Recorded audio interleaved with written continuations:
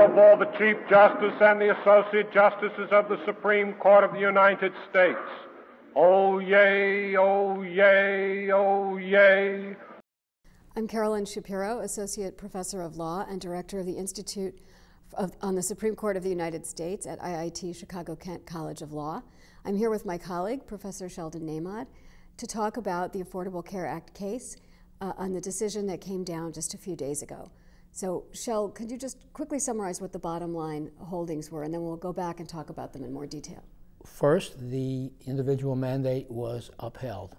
Secondly, for the most part, the Medicaid expansion was upheld as well.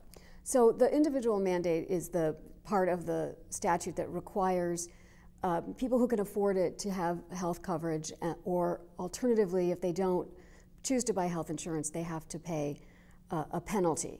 And everybody, the big fight about this had to do with whether Congress had the power to, to impose that kind of requirement under the Commerce Clause. Right. Um, can you just quickly explain why do we even talk about whether Congress has the power to do something? We talk about that because this government is one of enumerated powers, and Congress has to act pursuant to a, a particular enumerated power. It could be the Commerce Clause, it could be taxing, it could be spending. And most of the attention was focused, in fact, on the Commerce power because that's the natural fit for something that regulates an economic activity. And, but in fact, as it turns out, the Supreme Court, or five of the justices on the right. Supreme Court, found that the Affordable Care Act mandate does not is not supported by the commerce power. Well, that's right. Justice Roberts and four of the dissenters, the so-called conservatives, uh, all agreed that the commerce power didn't work here. But five justices, Justice Roberts and four other justices, the so-called liberals, really moderates, agreed that the taxing power did sustain the constitutionality of the individual mandate. What is the taxing power? Uh, the taxing power, which we all know, especially around April 15th, really year round, is that Congress has power uh, to tax individuals. And so that's and that's the basis on which the Chief Justice, uh, who was the only one uh, of the conservatives to find that the the mandate was constitutional, that's the basis on which he rested his Correct. conclusion. Correct. So do, do, we know what that means going forward for the scope of Congress's commerce power? Well, it's very interesting because technically speaking, uh, Chief Justice Roberts did not have to say anything about the commerce power since the court had sustained the constitutionality of the individual mandate on the basis of the taxing power. So technically, as lawyers would say, it's dictum. What that means is it's not uh, really the law, quote unquote, but when five justices of the Supreme Court agree that this could not be sustained under the commerce power, it has a, a lot of force.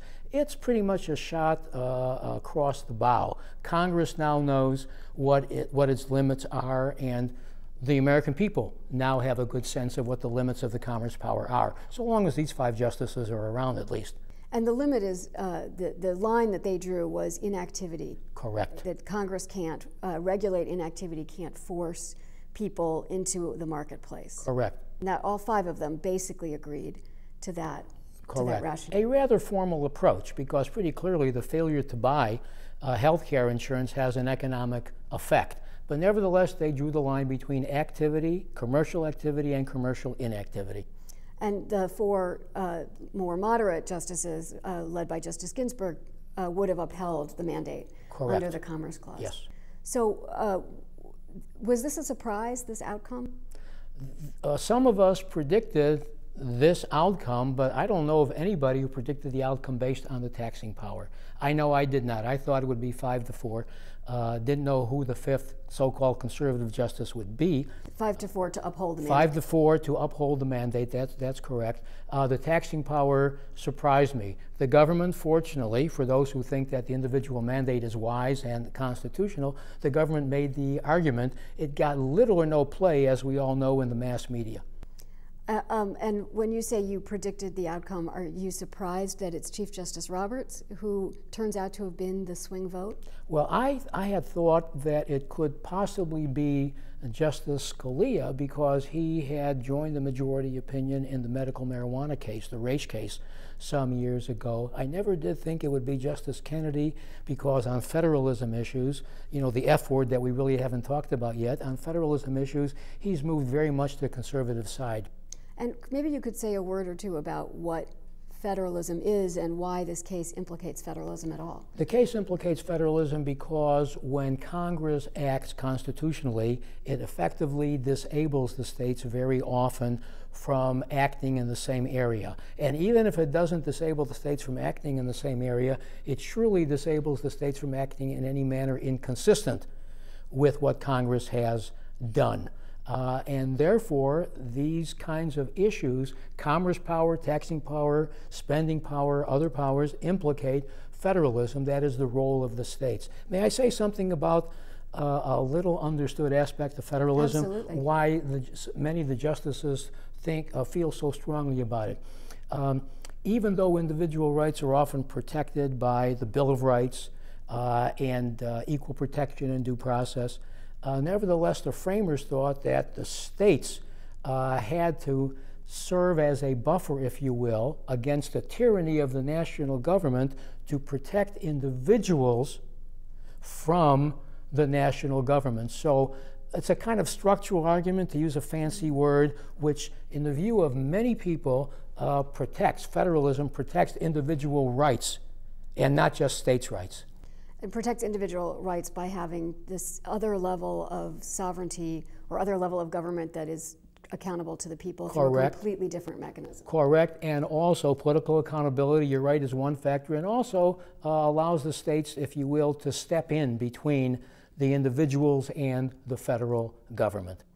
So let's talk about the other aspect of the opinion, which, uh, the other aspect of the case, which does also directly implicate federalism. This had to do with the Medicaid expansion, uh, which requires states uh, to, to provide Medicaid, which is uh, health insurance for the poor, to uh, people up to 133% of the poverty line uh, who are under 65. This is a pretty major expansion. Major indeed. Uh, it, it, covers single people who haven't previously been covered by Medicaid. Um, and the, the Supreme Court upheld this requirement, but, but sort of limited it's the federal government's ability to, to impose conditions on the state. Maybe you could talk a little bit about Sure. It's been long understood that the uh, spending power is an independent power of Congress, which can be exercised for the general welfare. It's pretty broad. It's not connected to any of the enumerated powers that we were talking about earlier. So the question is when does Congress exceed its power under the spending power and thereby uh, implicate federalism in an adverse way. Well, the Supreme Court held in this case that because the Patient Protection and Affordable Care Act punished, if you will, uh, the states who did not agree to the expansion of Medicaid, the significant expansion that you talked about, uh, if you will, sanction them, punish them by removing all Medicaid funding. Threatening all, to remove. Threatening to remove all Medicaid funding altogether. Uh, and that uh, seven justices, interestingly enough, not just not only Justice Roberts and the four conservative justices, but Justice Breyer and Justice Kagan agreed with that. That this was, to paraphrase, if I remember what Justice uh, Chief Justice Roberts said, it's like a gun held to the head of the states. And that was too much under the spending power. So the risk of losing all of their Medicaid funding, which is a significant portion of state budgets uh, was too coercive. Yes, I think if I remember the figure correctly, on an average uh, was 10% of the typical to, state's funding. I think it could be even closer to yeah, 20%. Well, significant. It's, it's, a, it's a pretty major portion of state budget. And of course, Medicaid is a cooperative federal state right. program. Some of the money comes from the federal government, some of the money comes from the states, and the states, generally speaking, have to, if they want the federal money, have to run the program according to the, the, the federal government's uh, criteria. Right. That basic structure isn't changed. Correct. Right. What's changed is the imposition of uh, the requirement that states expand their Medicaid program at the risk, or if not, risk losing all of their Medicaid. And what's also interesting about that, uh, even though just Chief Justice Roberts referred to this as a gun to the head, uh, I think until 2016, for states that opt in, the federal government was paying 100%, and thereafter it was 90% of the expansion. But yet the Supreme Court, uh, seven justices thought this went too far. So a state could opt in to this uh, to, to this expansion and not actually have to spend any more money um, of its own from its for own For the budget. foreseeable future for the short term. at least for in the short term. Right.